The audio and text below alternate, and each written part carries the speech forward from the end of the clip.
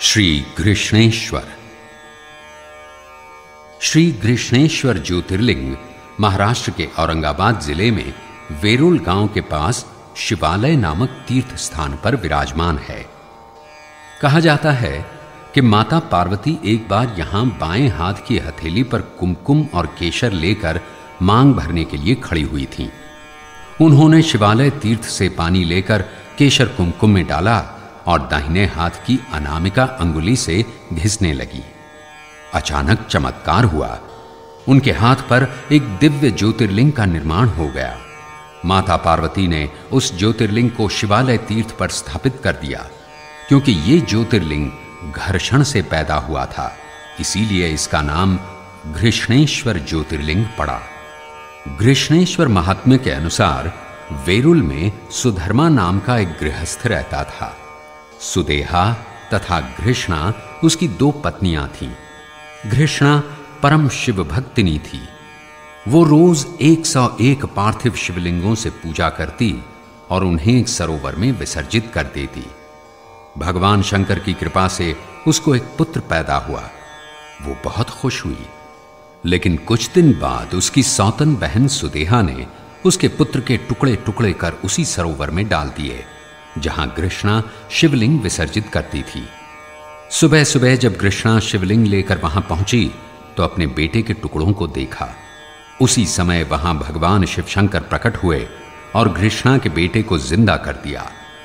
भगवान शिवशंकर ने कहा घृष्णा और कुछ वर मांगना हो तो मांग लो, मैं तुम पर अति प्रसन्न हूँ।